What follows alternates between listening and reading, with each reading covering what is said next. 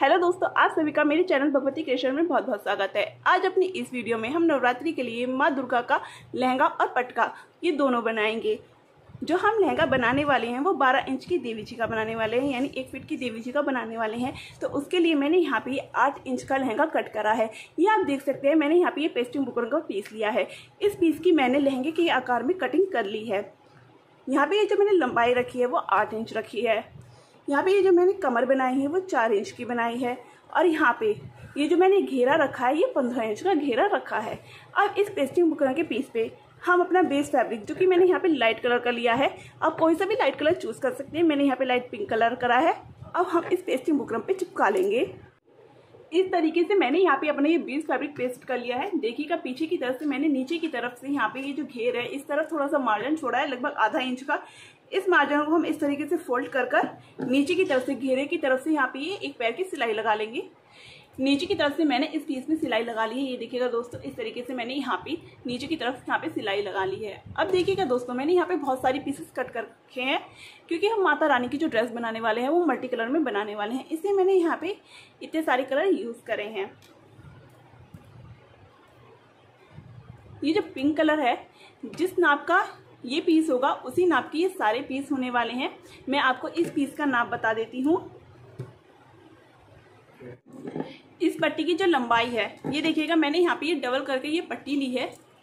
इस पट्टी की लंबाई आप उतनी रखेंगे जितनी आप अपने लहंगे की लंबाई रखेंगे, क्योंकि हमें ये फुल लेंथ पट्टी चाहिए।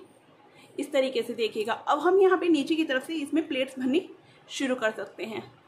प्लेट आप दोनों तरफ़ से भर सकते हैं, चाहे आप नीचे की तरफ़ से भरकर फिर ऊपर की तरफ़ सिलाई लगा लीजिएगा या फिर आप पहले अलग कपड़े पे इस तरीके से इसमें पट्टी में प्लेट भर भर कर फिर यहाँ पे इस कपड़े पे सिलकर फिर नीचे की तरफ़ से इसको सेट कर लीजिएगा।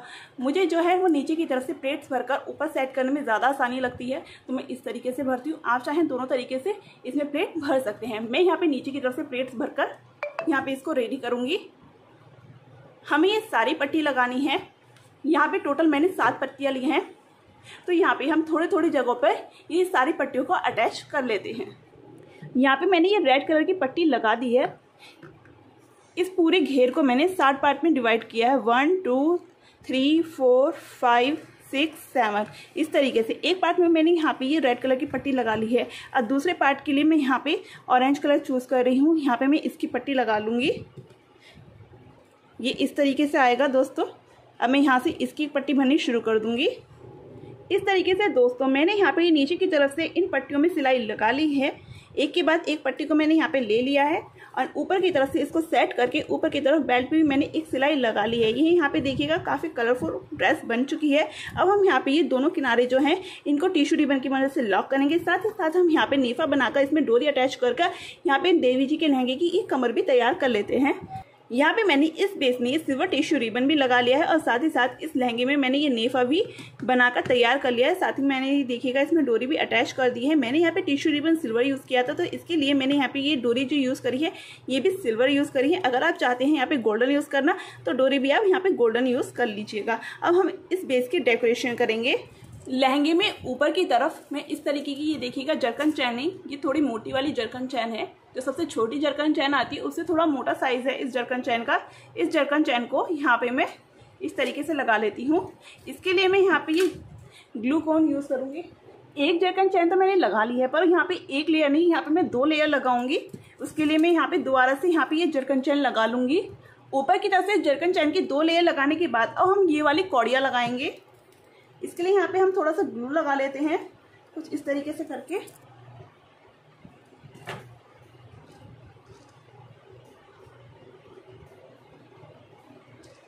एक एक करके हम इन कौड़ियों को लगा देंगे। ये जो कौड़ियाँ होती हैं दोस्तों, ये उल्टी तरफ़ हो या सीधी तरफ़ हो, दोनों तरफ़ से एक होती है।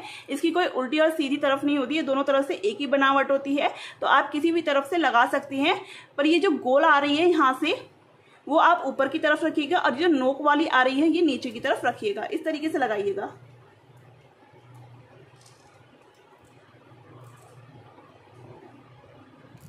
ऊपर की तरफ़ से हमने ये कौड़ियाँ लगा ली हैं। अब हम यहाँ पे बीच की तरफ़ से इस तरीके की ये देखिएगा दोस्तों। ये छोटी वाली जरकन चैन है।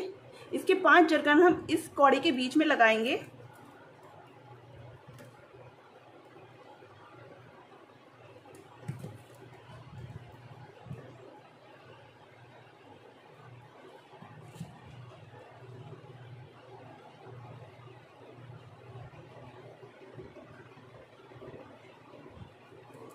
कुछ इस तरीके से हम ये जरकन चैन सभी कौड़ियों में लगा लेंगे।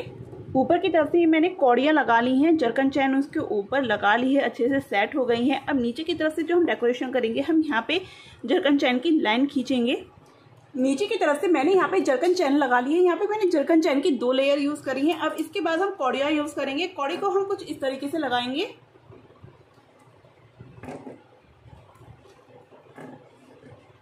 कौड़ियाँ हम इस तरीके से यहाँ पे लगा लेंगे। ये पूरी लाइन हम यहाँ पे, दोनों लाइन यहाँ पे बनाकर इसको तैयार कर लेंगे। नीचे की तरफ़ से कौड़ियों की मैंने यहाँ पे दोनों लेयर लगा ली है। नीचे की तरफ़ से भी एक लेयर लगा ली है और ऊपर की तरफ़ से भी ये लेयर लगा ली है। जैसे ऊपर की तरफ़ मैंने ये सीधी कौड़ी लगाई थी, नीचे की तरफ़ मैंने थोड़ी टेढ़ी कर कर ये कौड़ियाँ लगाई हैं। अब इन कौड़ियों पे हम जरकन चैन लगाकर इसको डेकोरेट कर लेंगे और आप जो और चाहें इसमें डेकोरेशन आप उस हिसाब से कस्टमाइज भी कर सकते हैं। नीचे की तरफ़ से यहाँ पे मैंने कौड़ियों में जरकन चैन लगा दी है और साथ ही साथ यहाँ पे बीच में ये जो एरिया था ये बिल्कुल प्लेन हो रहा था तो मैंने यहाँ पे थोड़ी सी यहाँ पे कौड़ियाँ लगा दी हैं और साथ ही साथ इन कौड़ियों पे जरकन चैन भी लगा दी है। इस तरीके से मैंने यहाँ पे माता रानी का लहंगा बनाकर कंप्लीट कर लिया है। अब हम देवी जी का पटका बनाएँगे। पटका बनाने के लिए मैंने यहाँ पे ये फ्यूज पेपर की पट्टी कट करी है, जिसपे मैंने यहाँ पे अपना मेन फैब्रिक जो मुझे चिपकाना है, इस पर वो पेस्ट कर लिया है। ये देखिएगा, ये फ्यूज पेपर की पट्टी है। इसके ऊपर मैंने प्रेस की मदद से ये अपना फैब्रिक चिपका लिया है, जो कि मैंने पिंक कलर का लिया है। इस पट्टी की जो लंबाई रखी है, वो मैंने पंद्रह इंच रखी है, जो इसकी चौड़ाई रखी है, वो मैंने ढाई इंच रखी है। अब इस पट्टी को हम पटके की शेप दे देते हैं। यहाँ पे देखिएगा दोस्तों, मैंने इस पट्टी को पटके की शेप दे दी है। इस पटके में दोनों तरफ़ एक सा ही वर्क करेंगे हम। मैं इस तरफ़ का वर्क बता देती हूँ। यहाँ पे हम नीचे की तरफ़ लगभग दो इंच के बराबर यहाँ पे हम सारे कलर्स की पट्टी यहाँ पे अटैच कर लेंगे। ये देखिएगा दोस्तों, इस प्रकार से मैंने इस पटके में कलरफुल पट्टियाँ अटैच कर ली हैं। चार पट्टियाँ मैंने यहाँ पे अटैच करी हैं, चार पट्टियाँ मैंने यहाँ पे अटैच करी हैं। आ चाहे तो कम ज़्यादा कर सकते हैं, कोई भी कलर ज़्यादा रिपीट कर सकती हैं। इस तरीके से मैंने इन पट्टियों को लगा लिया है। इन पट्टी की जो लंबाई रखी है, वो मैंने ढाई इंच रखी है और दो इंच जो है पटके में नीचे की तरफ़ से, ऊपर की तरफ़ से निशान लगाकर और ये पट्टियाँ मैंने ढाई इंच की यहाँ पे लगाई हुई हैं। इस तरीके से देखिएगा, ये थोड़ा सा आगे को निकल रहा है। इस तरीके से हमें इसका लुक लाना है। अब इन दोनों किनारों पर हम सिल्वर टिश्यू रिबन लगा लेते हैं। इस पटके में मैंने दोनों तरफ़, ये देखिएगा दोस्तों, यहाँ पे ये टिश्यू रिबन लगा लिया है, यहाँ पे मैंने सिल्वर टिश्यू रिबन लगा लिया है। अब हम इस पटके की डेकोरेशन करेंगे। अब हम इस पटके को डेकोरेट करने के लिए यहाँ पे ग्लू लगाएँगे थोड़ा सा ग्लू लगाएँगे हम, ज़्यादा नहीं। कुछ इतना मुझे ग्लू लगाना है यहाँ पे।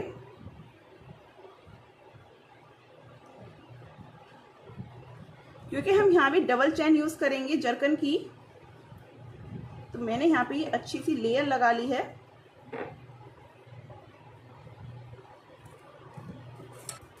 अब ग्लू के ऊपर हम ये जरकन चैन जो है, इसको चिपका लेंगे।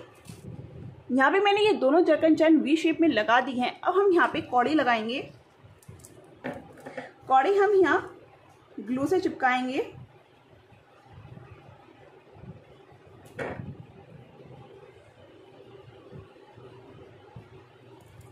आप चाहें तो कौड़ियों के लिए यहाँ पे ग्लू गन का भी यूज़ कर सकते हैं, पर मैं यहाँ पे ग्लू का यूज़ कर रही हूँ।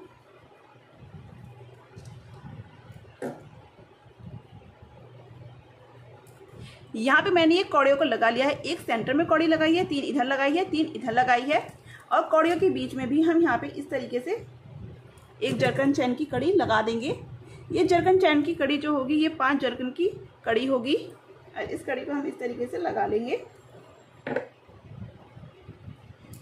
पटकी में मैंने दोनों तरफ़ ये जर्कन चैन लगा ली है, जो कि मैंने वी शेप में लगाई है और साथ ही साथ यहाँ पे कौड़ियों के ऊपर भी जर्कन चैन लगा ली है मैंने।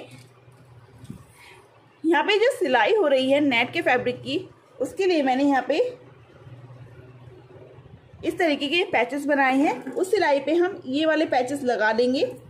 ये मैंने कौड़ियों से ही बनाए हैं। इस तरीके से हमारा जो देव जी का पटका है, ये बनकर तैयार हो जाएगा। ये देखिएगा दोस्तों, इस प्रकार से हमारी देवी जी की नवरात्रि स्पेशल ड्रेस बनकर तैयार हो गई है। अगर आपको ये वीडियो अच्छी लगी हुई ड्रेस अच्छी लगी हो तो वीडियो को लाइक करें चैनल को सब्सक्राइब कर दें। और वीडियो कैसी लगी कमेंट बॉक्स में लिखकर ज़रूर बताइएगा। माता रानी का ये लहंगा कैसा लगा आप मुझे कमेंट बॉक्स में लिखकर ज़रूर बताइएगा।